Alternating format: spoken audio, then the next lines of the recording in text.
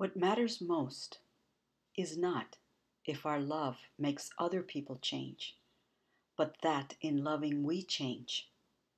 There is not a human being on this planet that cannot be changed by love, no matter who that person is.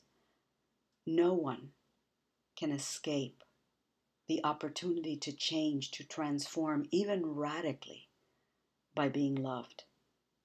But oftentimes we focus on how we can affect others, and we forget that what is ultimately most important is how we change. If in the loving of others we do not change, it is not really love.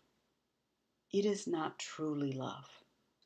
So think about this. Ultimately, what matters most is not if our love makes other people change, but that in the loving we change, we transform, we grow, we make a difference to ourselves. That is what matters. Do not underestimate the healing and transformative power of love. Practice and enjoy.